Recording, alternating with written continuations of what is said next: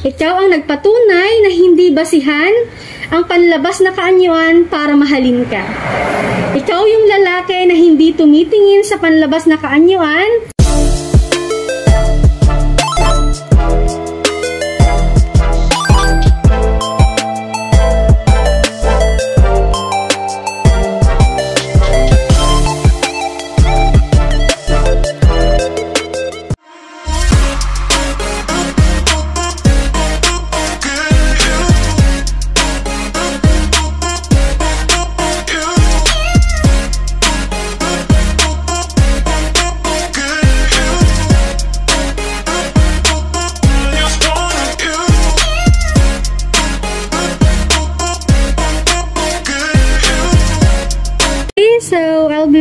another card po. Yan po.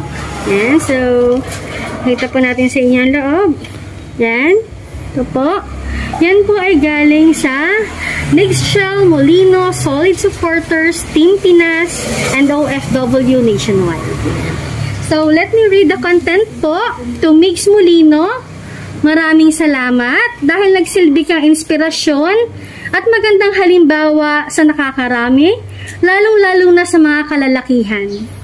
Saksi ang lahat kung paano mo inrespeto, itinrato, iginalang at minahal ang isang babae kahit ano pa ang katayuang meron ito. Maraming salamat dahil ipinakita mo kung paano dapat bigyang halaga ang isang babae kahit ano pa siya. Ikaw ang nagpatunay na hindi basihan ang panlabas na kaanyuan para mahalin ka. Ikaw yung lalaki na hindi tumitingin sa panlabas na kaanyuan, kung hindi magpakatotoo lang at pinakaimportante sa lahat ay yung nilalaman ng puso. Ikaw yung lalaki na napakasimple at marunong makontento.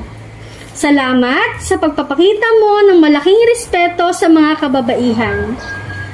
Mula sa pagiging protected mo kay Cutie Cutie Mahal at kila Nene, Salamat sa pagiging concern mo kay Cutie Cutie sa lahat ng mga advice at pag-correct mo sa kanya. Salamat dahil napaka-supportive mo kay ate mahal. Ikaw yung tumulong sa kanya na i-boost yung confidence niya at maraming salamat dahil ikaw yung nagturo sa kanya ng totoong ibig sabihin ng maganda ako. Sobrang appreciated namin lahat ng ginawa mo. Alam namin bunso na hindi sapat ang salitang salamat para i-describe ka at kung anong pagkatao meron ka. Hanga kami kay Nanay Belen dahil nagpalaki siya ng maayos at may takot sa Diyos at ikaw yon. Isa kang mapagmahal, masipag at higit sa lahat, responsableng anak, kuya at tito. Saksi kami kung paano mo pahalagahan si ate mahal, Ginawa mo ang lahat, mapagsilbihan at may bigay mo lang ang lahat ng mga hiling niya. Salamat sa ibinigay mong pagmamahal at pag-alaga kay Cutie Cutie. Hindi yon mapapantayan ng kahit na anumang bagay. Saksi din kami bunso kung paano, mahalin, paano mo mahalin ang magulang mo, kapatid mo, at nakikita namin yung kung paano ka kasweet at naging mabuting kuya at tito pati na din sa mga pamangkin mo at kuya kay Nene. Tandaan mo palagi, bunso, na minahal ka ng tao, minahal ka namin sa kung anong meron ka at kung ano ang totoong ipinapakita mong katangian na mayroon ka. Kaya't maraming kababaihan ang napapaibig sa'yo, maraming kababaihan ang gustong makatagpo ng isang tulad mo. Dahil yun ang masasabi naming perpektong lalaki ay nasa iyo na. Ni minsan, hindi mo ipinakitang pagod ka na dahil nangingibabaw pa rin sa iyo ang pagmamahal at concern sa iba sa puso mo. Hanga kami sa panloob at panlabas na kaanyuan mo. Mas palalimin mo palalo ang relasyon mo sa Diyos, bunso, dahil saksi kami kung paano kumilos si Lord sa buhay mo at sa family mo. Patuloy ka lang magpagamit bilang instrumento ng Diyos Marami kaming nakasuporta at nagtitiwala sa iyo. Huwag mong isipin yung mga nanghuhusga sa iyo dahil kahit ano pang sabihin nila, kahit ano pang paninira ang gawin nila sa iyo bunso, hindi magbabago yung suporta at pagtingin namin sa iyo. Huwag kang magpapaapekto sa mga paninira nila. Ipakita mo na sa kabila ng paninira nila ay nananatili kang matatag at malakas. Hindi sila magtataas kaya don't mind them. Ngitian mo lang ang lahat at ibinabato nila na ibinabato nila sa iyo.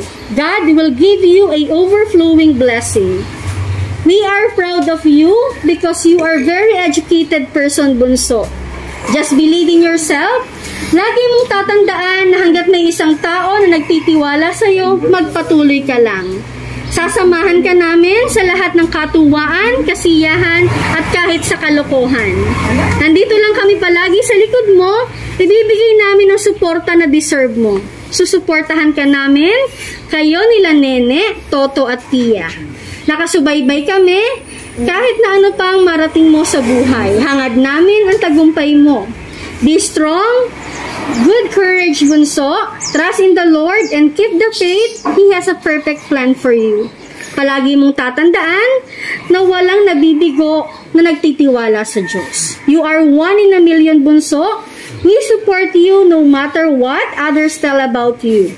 Palakas at pakatatag ka. Tuloy lang ang laban. Laman ka ng bawat panalangin namin. Ikaw lang ang aming nag-iisang bunso. Best regards sa iyo, bunso, at sa buong family mo. Again, advance happy, happy birthday. God bless you, bunso. Mahal na mahal ka namin. Nagmamahal sa iyo at sa family mo.